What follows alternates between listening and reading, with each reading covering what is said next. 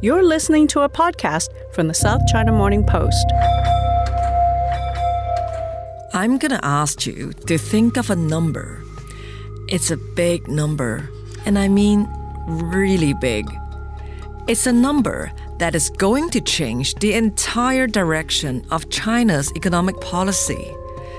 It's a number that is going to affect what age people in China are allowed to retire. It's a number that women in their 20s, 30s, and even 40s will have the power to influence.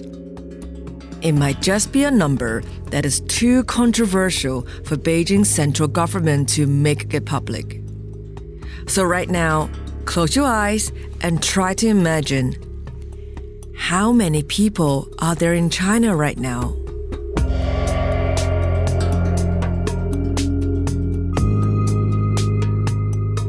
China has a lot of people, more than a billion, more than four times as many as the people who live in the United States.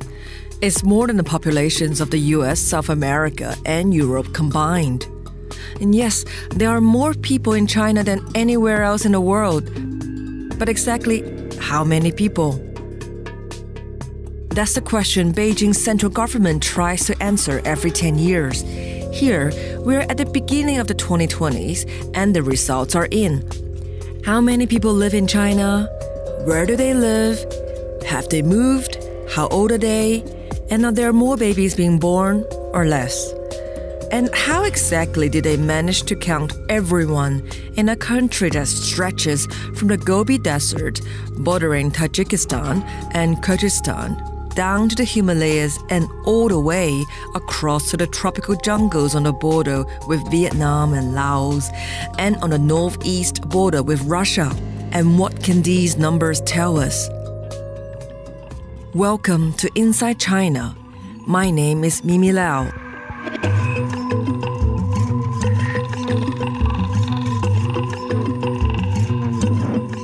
It has been weeks of waiting, almost a month, waiting for Beijing to release the official figures of the 2020 census.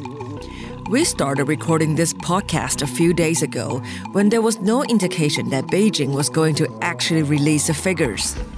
That changed this morning, and we have had a couple of hours to go through the figures. What has been released so far is the executive summary. So, if anything changes between me recording this podcast and you listening to it wherever you are in the world right now, keep in mind that more details, more analysis, and more news on the latest China census is coming to you over the next few days and weeks, and you will find the latest on scmp.com.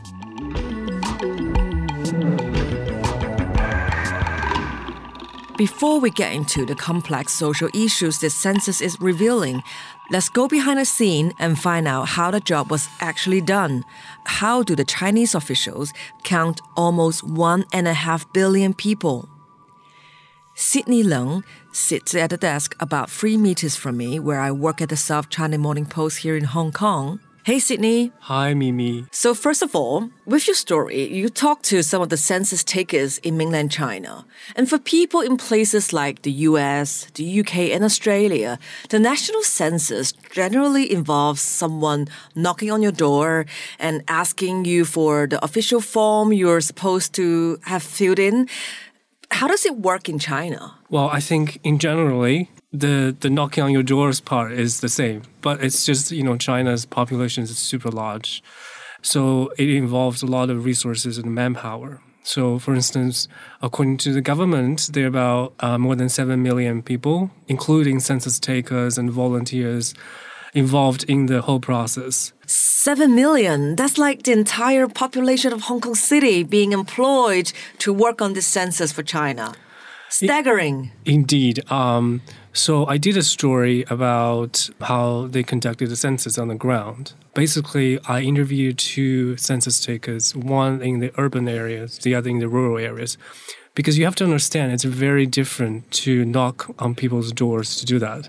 In urban areas, you know, everyone you live in a complex um, apartment buildings. That's relatively easier. You know, in rural China, they announce you know big um, news through a loudspeaker uh, you know, everybody hears a loudspeaker across the village. So they would just say, hey, you know, there's a census and uh, everyone is needs to be part of that. And uh, if you come, then we will, you know, give you some freebies. Freebies? What kind of free stuff? Very simple stuff. You know, um, it's like a bucket, Rice. bucket, yeah. And you cannot disclose what you're gonna give away because what if they don't want a bucket? You know, they would just not come. You know, they. So, so this is the, their way to persuade people to come. Um, and also one of the So yeah. do these incentives do they exist in overseas countries as well? I mean, at least I haven't heard of them in previous Hong Kong census. I'm, I'm not sure about other countries, but I think in, it's particularly true in rural China because, um, you know, you barely you barely hear this this kind of uh, stuff in um, urban cities. One of the big differences was um, last year, the latest round of census, they collect all the data through uh, a system um, hosted by WeChat. Every census taker get your information and uh, submit it through the, the system digitally.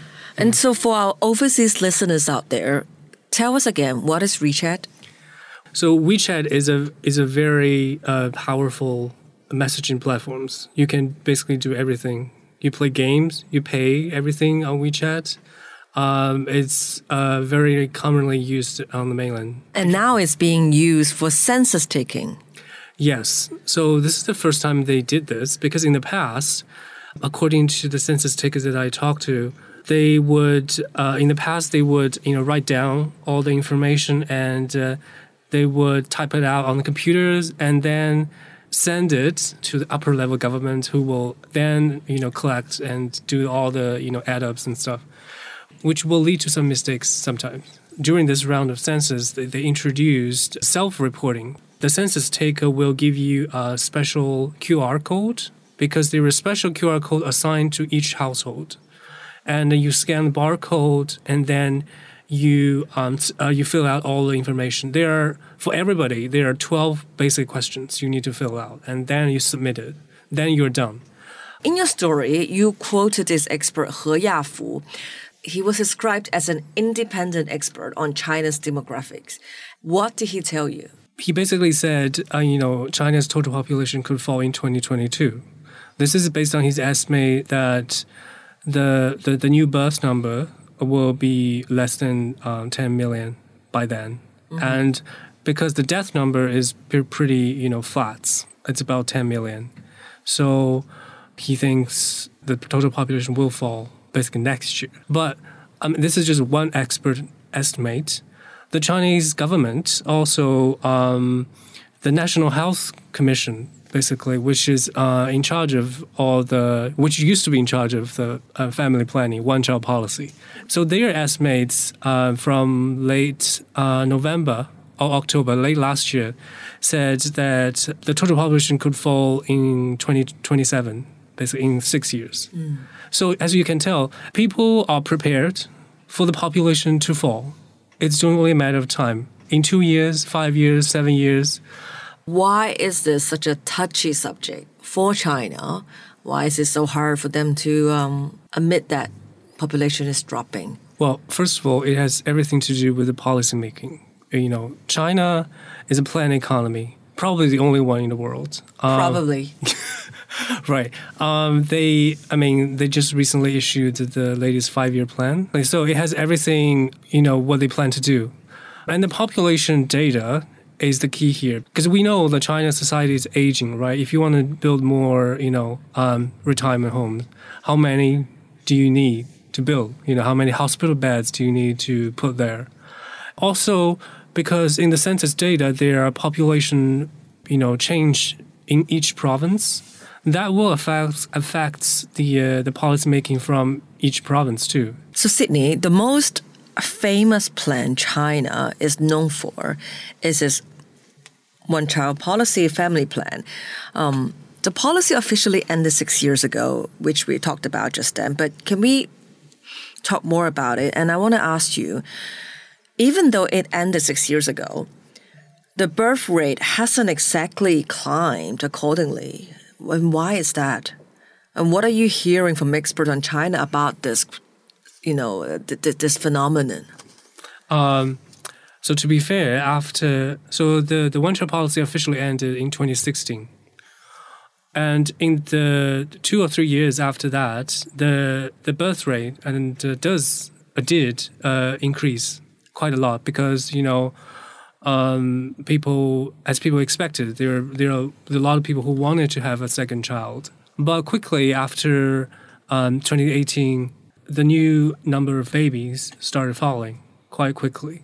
I mean, one of the reasons is that first of all, as many experts said they relaxed the birth policy so late, too late. Also, the uh, you know the cost of raising a baby, raising a child in China is increases quite a lot these days. What are you hearing from experts in China about this topic? So, as you could tell from the data, after they introduced the two-child policy in 2016, the you know the birth rate did increase for two years, and but quickly started falling after 2018.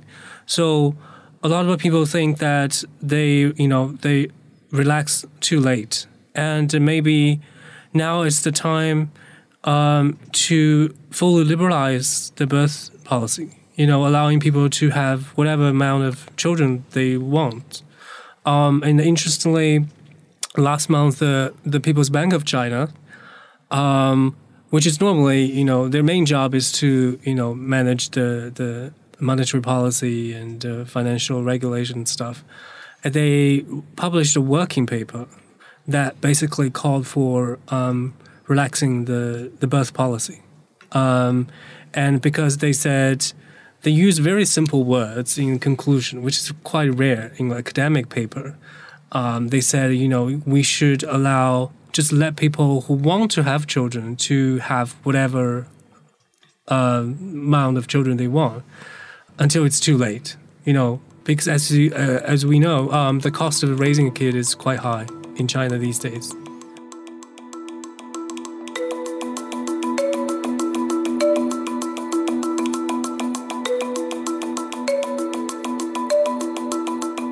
We've got Zhou Xin with us, our political economy editor for the South China Morning Post. He's also the co-host of China Geopolitics podcast. So, Xin, uh, the Chinese government just released a census this morning. What are the major takeaways of this census? Okay, thank you, Mimi. As you just said, you know, uh, China reported this uh, census results. This is a once in a decade census, and the number was a little bit surprising because a few weeks ago, remember, Financial Times had this uh, front page exclusive saying China's population has started to fall. But apparently, the National Bureau of Statistics, after their um, repeated delays today, unveiled the number and it showed an increase 1.41 billion, basically. And this uh, is already cited by the spokesperson of the Statistics Bureau saying, you know, China's market will remain huge. China will remain as the world's most populous country in the world. So this is, a, you know, in terms of population size, this is a business as usual. But behind the headline figures, there are uh, lots of interesting changes. So number one is, of course, uh, aging population. The aging population is not uh, uh, stopping. In fact, it's accelerating. I mean, more and more Chinese people are getting above the age of 60, which will have a big challenge for the country's pension system and healthcare system. That's why the Chinese government is talking very loudly about extending the retirement age. And even it's hugely unpopular among the people, you know, because they have no other choice. China have to do it. It's like uh, it's a similar situation in Japan. Only the size and the speed of the aging is much uh, bigger and faster. And it also changes the way people spend money, right? Consumption habits. Yes, exactly. Because uh, you know, in general, you know, young people spend more. You know, especially if you are in twenties, you know, you have loads of money to spend. You want to get married, you want to start your family, you have the kid, you know, to buy a new apartment.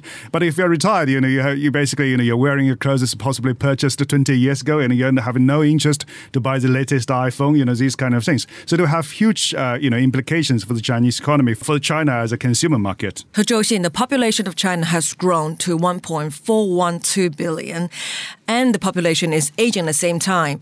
But what does it mean when we are seeing a repeat of a repeated decline of birth rate? That's uh, another very interesting question, and this number actually did not include in the official documents at the press conference. And this is the last question that the official finally gave the answer, saying uh, last year in 2020, despite the COVID 19, China had new births of 12 million. And 12 million sounds a lot, but it's actually a very small number compared to China's overall population, which means, you know, uh, overall fertility rate, even by the official estimate it's about 1.3, which means one couple or one uh, you know woman uh, only give birth to one in average 1.3 baby uh, throughout her life. So this is uh, this is actually uh, quite bad because uh, by natural rule, uh, this number has to be 2.1.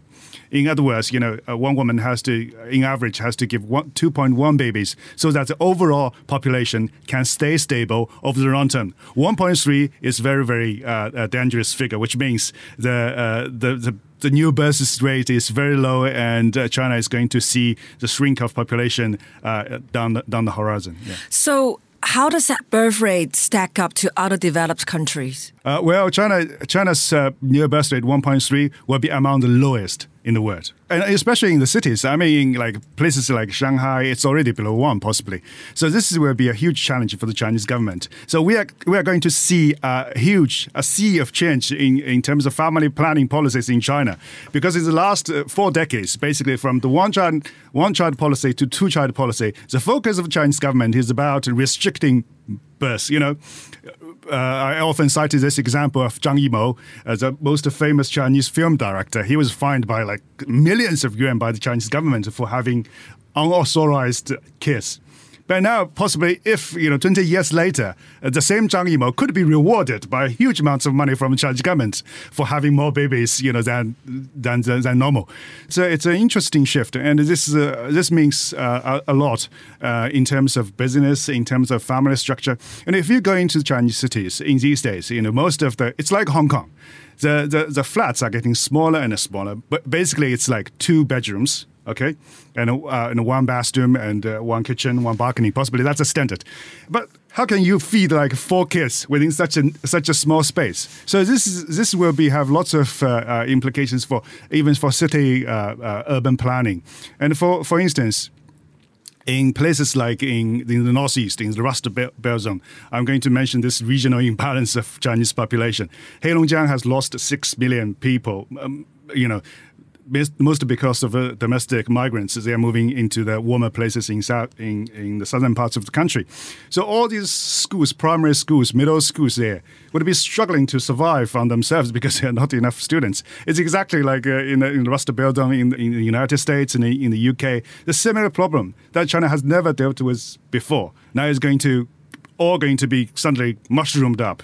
So for for the Chinese government sitting in Beijing, they're going to see not not because like the city have too many people, they're going to see this city is in decline, that town is in decline, so population are shrinking here and there, and and and you can see increasingly the the whole population are, are concentrated in the rich coastal areas in Guangdong, in Zhejiang, and also in warmer places, maybe some places like Hainan. Fascinating summary. You mentioned in Heilongjiang province there is an outflow of population due to domestic migrants, and in particular in that province and the northeastern part of China, there is for the first time a report of increased uh, population for, for, for, females. Can you explain why? How does that tie into the um, outflow of domestic migrant uh, to from colder places to warmer places like Sanya in Hainan province? Maybe in terms of sex uh, ratio, at least according to the population uh, census, uh, the ratio is a little bit, you know, stable, but it's still overly imbalanced towards like more men than women in China. There's still uh, uh, the the total gap was still over 30 million. So that's a lot. But uh, the good news is that it's not worsening. So, which means you know, Chinese people uh, increasingly, you know, traditionally uh, a Chinese family prefers sons uh, rather than daughters, but increasingly, I think. Uh, many, especially for urban and well-educated Chinese people, I think daughters will be the same, treated as same, you know, uh, as, as, sons. So, so you're we, saying the, the gender gap is being gradually being closed? No, not closed. It's stable. Mm-hmm. but it's not worsening. Uh, speaking of domestic uh, uh, migration, that's a very big change.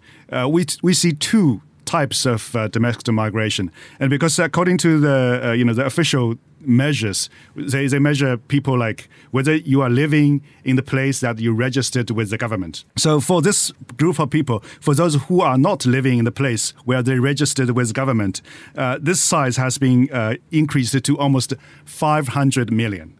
And among these, there are two groups of people. Like one group is is like in the uh, the United States in the 1960s or 1950s. People increasingly living on suburbs.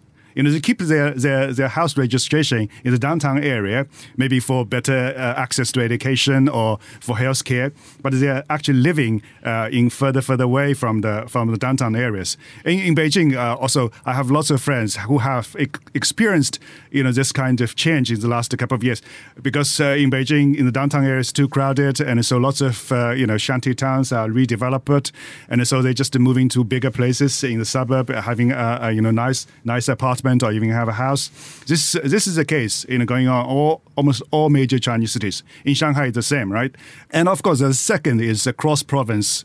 Uh, uh, migration, which is more uh, obvious. This is a, a, a, very clear trend that the whole population in North China, which means in north of the Yangtze River, are shrinking and the population in south part of uh, the, the Yangtze River are growing at much faster uh, speed. This is typically because of the, uh, uh I mean, economic development. There are certainly more uh, economic chances, a more vibrant private economy, and also, you know, a better climate. So one thing that we, uh, we, we can use as a side evidence is to look at the top GDP Chinese cities. I mean, Beijing is basically the only northern city that is still among the top 10 Chinese uh, uh, cities in terms of GDP. And uh, for this situation, I don't, I don't think the government has a clear plan how to balance uh, this. You know, this could be an opportunity, but it, it means more efficient use of resources I mean, if there are more factories uh, in, in Guangdong, if there are more job opportunities in Guangdong, for sure there should be more talents in Guangdong. But at the same time, oh, in a, in a nationwide point of view, the widening regional uh, development gaps could be a problem for the central government.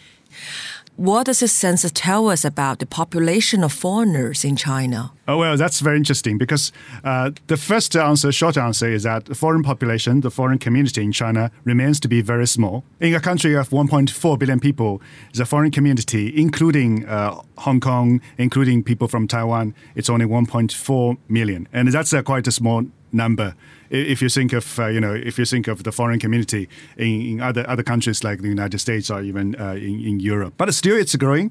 It's uh, it's uh, not a huge uh, growth, but still it's uh, growing compared to ten years ago. By which, how much? by like thirty percent. Okay. It's not bad. However, the interesting thing is about the you know the distribution of the foreign community. Mm. first of all, we can if by source of the immigrants into China, we can see that more and more Hong Kong people, more and more people from Taiwan are living on the mainland. And in terms of foreign nationals, uh, it's also grows. But interestingly, like the foreign community, uh, the population in Beijing and Shanghai have both shrunk in the last 10 years. And, and we can cite this to the possibility of COVID 19 because it was conducted in, on uh, November last year, and uh, the, the COVID situation is still very serious. Still, lots of people maybe you know, expats maybe just uh, going back home and they could return. Still, we can see that in Guangdong and in Zhejiang, the foreign community has been growing very rapidly. And I think in Guangdong, they didn't provide the city breakdown, but I think Shenzhen certainly contributes a, a lot because when people come into uh, China, they, they, they, can see that, you know, in uh, possibly in Shanghai and uh, Beijing, there are more and more restrictions on, uh, on, on, foreigners working or living there. But in Shenzhen, there are possibly more and working you know, and, and, and, and even lifestyle opportunities for foreigners coming to China. So that's very interesting. We've waited a month for this executive summary to come forth. Zhou what is to be announced in days or weeks after this? Well, thank you, Mimi. It's indeed a, a good question because uh, uh this is lots of lots of people are, are wondering. We're, we're, wondering like why it takes so long for the uh, National Bureau for Statistics to release the data.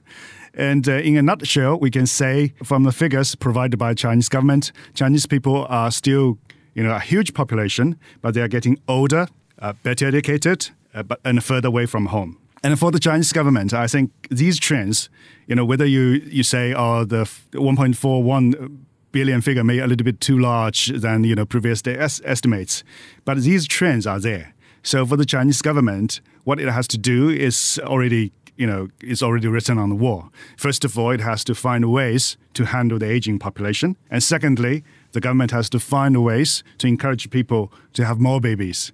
And this will be a huge challenge uh, compared to the last of uh, four decades of restricting births, because encouraging births has proved more difficult to do so. And uh, according to all the experiences in, in uh, around China or in Europe, you know, Taiwan, Japan, uh, South, South Korea. Taiwan is a region of China.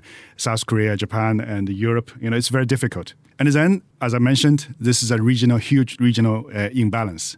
And so maybe the Chinese government will have to uh, tweak its uh, administrative structure. And in, in places with fewer and fewer people, uh, you know, where, where, it still makes sense to keep the same amount of government employees as it is in uh, uh, Shenzhen. I mean, in, in, for instance, a district in uh, in Shenzhen, Nanshan district, right? It's it's as rich as a country, but maybe if you find a county in uh, remote provinces like Gansu, and the possibility the population was so small, but if you still have like the two same set of uh, government employees, it doesn't make sense. So it will be a, be a challenge for the for, for the central government to handle these kind of uh, situations.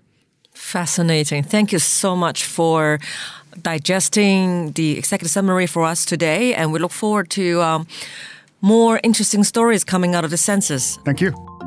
As critical news stories emerging from China continue to shape lives and business around the world, the weekly SCMP Global Impact newsletter brings you expert analyses and insights on the economics of COVID 19, society, technology, and the environment.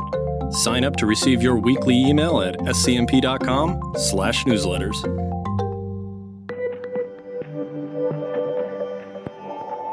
China's population is, as Zhou Xin has summarized, getting older, better educated, and further away from home. Much of the world's media coverage about China's census has been about a looming demographic crisis from a low birth rate. As you have just heard, it is the same crisis that countries like Japan, South Korea, and Germany are facing. But of course, none of these countries have ever had a one child policy. It is important to remember that the one child policy started in the year of 1980 and finished just five years ago, meaning the children born during this policy are now mostly in their 20s and 30s. And growing up as a single child during this time has had a huge impact on how they feel about raising children and starting families. If you've been following our recent episodes of Inside China podcast, you might remember our International Women's Day special looking at some of the issues facing women in China. Let me take you back to the episode and the interview I did with one of our reporters, Qin Chen talking about the women who are now in their 20s and 30s in China and the challenges they face. So, we're basically talking about a generation of women uh, that is growing up under the one child policy. The policy started to implement really uh, strictly from the 1980s. So the women's now we're talking about growing up in that environment. They grew up as the one child but they're also experienced one of the most miraculous economic ride in recent history. China's economy really grown leaps and bounds in the last 40 years, and they witnessed that. So their expectation for a family, for what they want to provide for their kids, have grown as well. At the same time, China is also getting very unequal. So a lot of young people are having difficulties of getting an affordable housing. If you want to give a child a good future, you want to make sure that you have a good house and it is in a good school zone uh, with great schools, and and those those places aren't cheap, um, especially in the first tier cities like Shanghai or Beijing or Shenzhen. Uh, we're, we're really talking about 500,000 to a million dollar properties. You know, it's, it's a lot to ask for from any young people. They're feeling that they don't really have that to provide for a child. So why have a family? This is really interesting. Can you tell us more about this generation uh, who were born under the one child policy? Do you think there is a deeper cultural change in this generation's attitudes to marriage? Oh, yeah, absolutely. I have a lot of uh, women friends who told me that they don't quite feel like they want to have a family because they don't want to deal with uh, the man's family, uh, their in-laws, and and they also feel like they have to sacrifice so much uh, from their job potential to to raise a family. Also, China has becoming so unaffordable that almost most of the family would want two parents to work at the same time. So double income in order to give a kid a good education and to live a decent life. So I think young Chinese women these days really find the traditional family setup very unattractive. And that is very, very evident in major cities. In smaller cities um, or in towns or villages or rural China or in rural areas, that tendency is less so. You find people tend to get married and, and have children at quite a young age because life in uh, smaller cities and smaller places in China are still somewhat affordable and manageable. But in bigger cities, people just don't find it attractive to have a family. It's more of a, I mean, you, you should probably think about it as a as an investment. People see having a family as doing investments, and they're not seeing a good return at this moment if they live in major Chinese cities. Apart from lowering the birth rate, there was another major side effect of the one child policy, and that was changing the gender balance for China. After 35 years of restricting and punishing people to enforce this policy, there are now an estimated 37 million more men than women in China. But Chen said the daughters raised during this one child policy, the women who are now in their 20s and 30s, have a very different outlook on life than generations before them. When you have majority of the family only have one child, the family have to treat women sort of as their only hope. They have to invest in them, they have to, you know, give them all the opportunities. So that in turn creates a generation of women who became really economically powerful and educated. They're earning more and they're becoming very independent because they're becoming financially independent. And that in turn give them a strong yearning of taking back control of their life you know, marriage is no longer Chinese women's only option to get a better life. Chinese women are now working in all kinds of jobs, earning a livable wage, and having second thoughts on whether they should be hurried into a marriage or sacrifice their own career growth. So all of these things are very powerful awakening, um, and I think they're affecting Chinese women's choices. That's Beijing based journalist Qin Chen speaking on a previous episode of Inside China we published back in March as part of our International Women's Day coverage. Since then, we have been documenting other social changes in mainland China. And although it didn't get a mention in this morning's executive summary of the 2020 census, one of the stories we published earlier this month speaks directly to the concept of marriage and how a new generation of Chinese women are, well, there's no other way of putting it, just not happy about marriage. Every 10 years, China conducts its national census. But every year, the National Bureau of Statistics conducts a postal survey of 100,000 households. Last year, 20% of the women surveyed said they regretted getting married. That's more than double of the number who said the same back in 2009. And if you're wondering what's the number for men, you know, who regretted getting married, go and guess. That's 7% Chinese men, who made up 51% of the population in mainland China, are pretty happy with how things are going. But the reality is quite obvious. In the year of 2019, the number of divorces as a percentage of new marriages in China hit 50%. That's before the pandemic hit. And even then, the divorce rate only dipped slightly to 45%. That's more than double than what it was in 2009. And of those divorce cases, more than 70% were reportedly instigated by women. It's a kind of journalism cliche to use a quote from Mao Zedong when doing stories about women in China.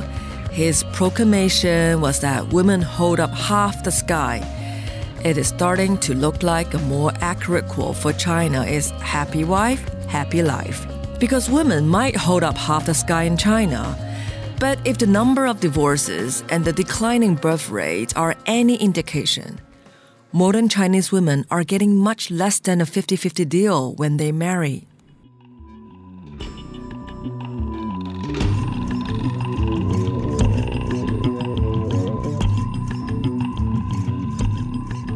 But that's all we have for you this week for Inside China. Thanks for following us and sharing us on social media. Please keep up to date with more news from the 2020 China census and everything related to China at scmp.com. My name is Mimi Lau. If you want to follow me on Twitter, find me at GZMimi. And until next time, keep the mask on, keep your social distance, and please, if you can, book in and get your vaccine. Bye for now. For more podcasts from the South China Morning Post, head to scmp.com, where you can hear more about technology, trade, culture, and society.